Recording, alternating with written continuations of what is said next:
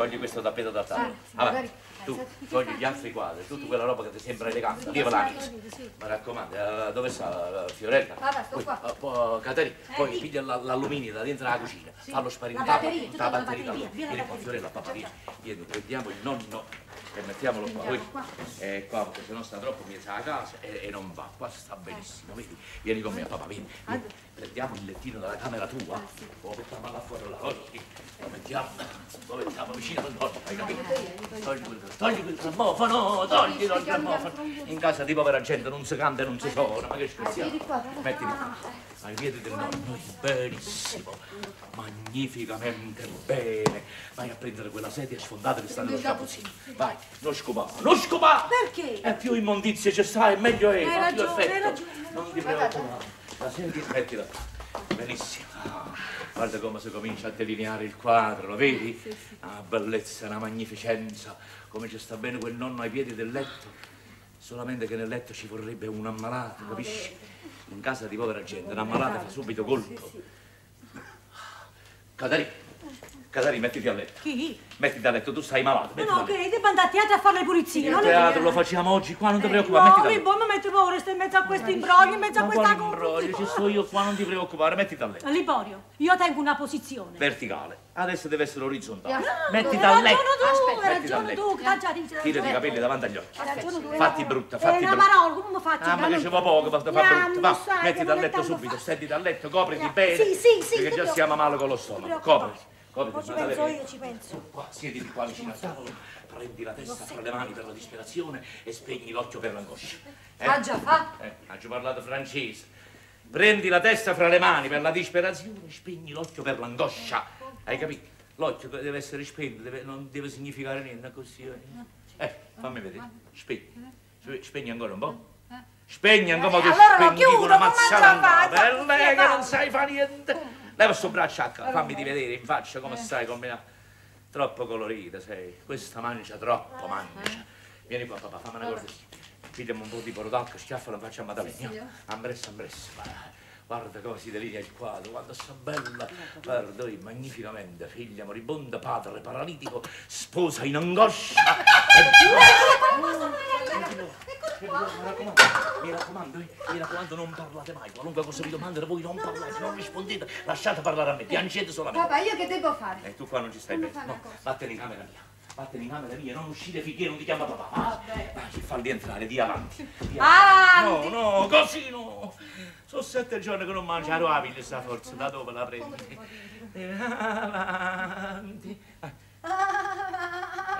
ma pare una, una, una pecorello che è convulsione. Tu a così hai fatto eh, Avanti, chi è? Avanti, favorito. Ecco pochissimo. Ho sbagliato, scusate. No, no, signore, posso un pacco da carta igienica, vattene, va. No, ma Madale, ma, ma che è successo? Qua? non è successo niente, sono affari che non ti riguardano. la verità, volete che vi chiamo un medico? Non c'è bisogno Un aiuto, qualcuno, un pronto Non abbiamo soccorso. bisogno di nessuno. E che è successo, Sì, caro? sono fatti che non ti riguardano. Che è successo, non che è successo. Hai male conto a lui, dobbiamo dar conto a lui, mo. Eh, Epilo, Epilo, Che faccio io? Epilo, piangi, faccio? piangi. Spegni l'occhio, spegni l'occhio per l'angoscia, spegni l'occhio. Avanti, avanti, avanti.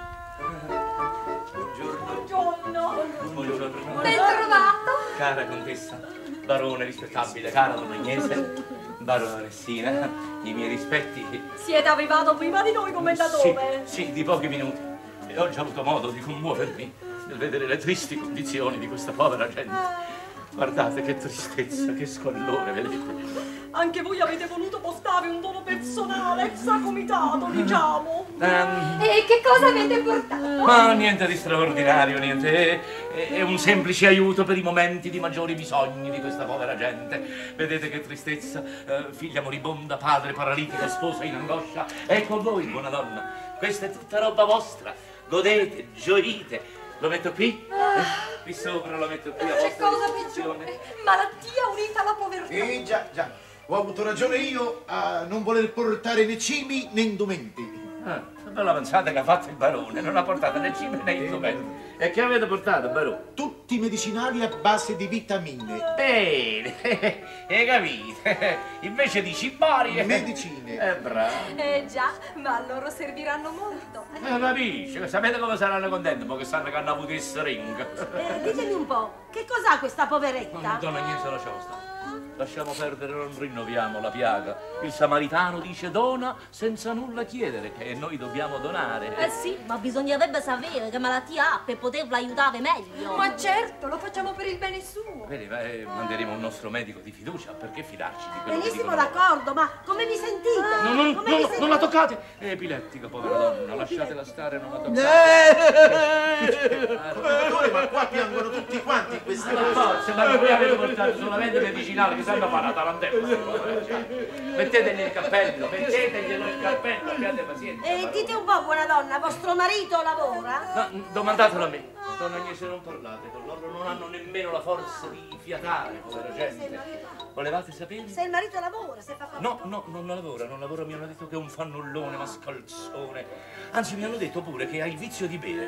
Sì, e dice che quando ha bevuto eh, picchia la moglie. Vedete? Guardate che tristezza, che squallore. vedete? No, no, Commendatore, commendatore, scusi. Sì. Sì, eh, questo lo so io, questo è... Avanti Eh, le guardate, fiamme, guardate guardate, vedete? Eh, Ho capito, ho capito, è un vecchio fascista. No, no, questo è un vecchio rimbambito. Sì, ha contratto un trauma psichico sul fronte greco. Eh, eh, eh, nelle guerre puniche volete dire? Perché? Ci avrà perlomeno 90 anni. No, che 90 anni, questo non è che 50 anni, sì, il trauma, la miseria, vedete come l'ha ridotto, poverino.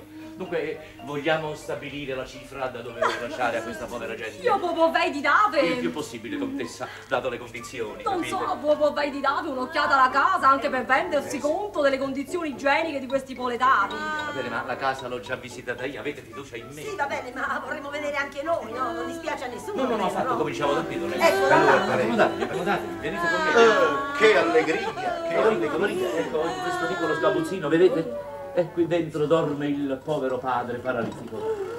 Eh, vedete, senza aria, senza finestra, un tanfo. senza Mamma mia, ma questo è uno sgabuzzino. Uno sgabuzzino, Oh, eh. E non c'è nemmeno il letto. Eh, di no, niente, niente, dorme sulla poltrona, è, è paralitico. E da quell'altra parte che c'è? Ma andiamo a vedere. Possiamo guardare? Sì, andiamo a vedere. Ma si capisce, eh, dobbiamo constatare, ci dobbiamo... Scusi, commendatore, e il povero vecchio dorme nello sgabuzzino. Sempre, sempre nello sgabuzzino, però. Sempre seduto su quella poltrona. Sempre, eternamente. Eternamente, scusi un'altra domanda, e non si spoglia mai. Io non avete sentito la puzza? Eh. È una cosa tremenda, vi ho detto.